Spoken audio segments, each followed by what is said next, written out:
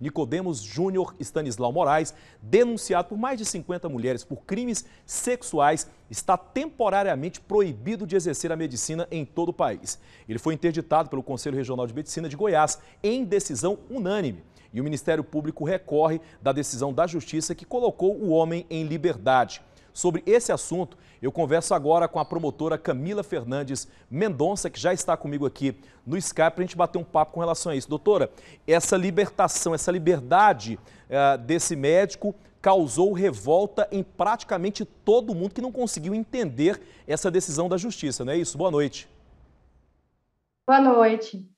É, realmente, principalmente para as vítimas, né, que estão se sentindo agora amedrontadas, preocupadas com a colocação do médico em liberdade.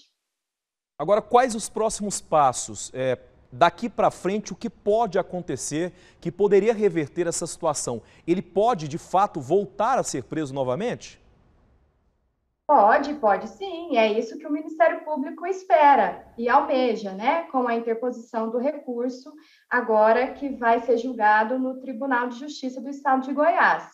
Queremos que ele volte à prisão, porque entendemos que a prisão ainda se faz necessária, não só para garantir a tranquilidade dessas vítimas já identificadas e que já compareceram à delegacia de polícia para relatar os abusos que sofreram, como também para encorajar outras vítimas que ainda não tiveram oportunidade de relatar o que passaram é, nas consultas nos, e nos exames nas mãos do médico. Exatamente, a senhora tocou num ponto muito importante que a própria delegada já havia comentado sobre isso, que essa situação da li a liberdade desse homem acaba desencorajando as mulheres que já foram e outras possíveis vítimas que também podem aparecer. E aí a gente até parabeniza aqui publicamente o trabalho da promotoria do Ministério Público, porque assim, precisa se dar uma resposta. Não foram uma ou duas, e se fosse uma só,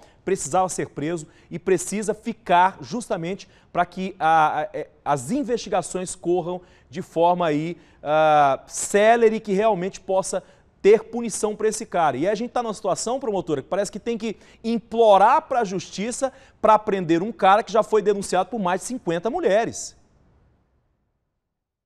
É, infelizmente, a gente precisa continuar demonstrando que é, não são só duas ou três ou quatro vítimas que foram é, abusadas pelo médico, né?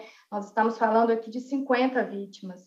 E não são vítimas só no estado de Goiás, né? Por onde os estados que o médico passou, é, existem vítimas. Existe vítima no Distrito Federal, né? Local onde ele, inclusive, foi condenado pelo Tribunal de Justiça do DF agora recentemente em 2020. Existe vítima no Paraná, que é uma outra, uma outra, um outro estado que ele atuou, e existe essas vítimas aqui no estado de Goiás.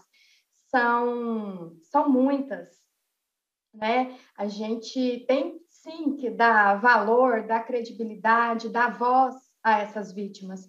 É isso que o Ministério Público tem demonstrado e vem demonstrando insistentemente é, nos, no recurso que, que foi interposto, que essas vítimas precisam ser ouvidas, os seus, os seus relatos precisam ser considerados, precisam ser tratados com a devida atenção e respeito e sensibilidade que o caso requer, porque nós estamos tratando aqui de crimes que envolvem ofensa ao direito das mulheres, ofensa à liberdade sexual das mulheres e, acima de tudo, ofensa à dignidade da pessoa humana.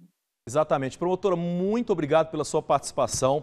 Eu quero continuar acreditando na justiça. Eu tenho certeza que logo, logo nós teremos uma boa notícia com relação ao retorno desse médico para o presídio. Eu tenho certeza disso. Doutora, obrigado. E qualquer novidade, sempre entre em contato com a gente. Seja muito bem-vinda ao Cidade Alerta sempre, tá bom? Obrigada. Eu que agradeço. Uma boa noite.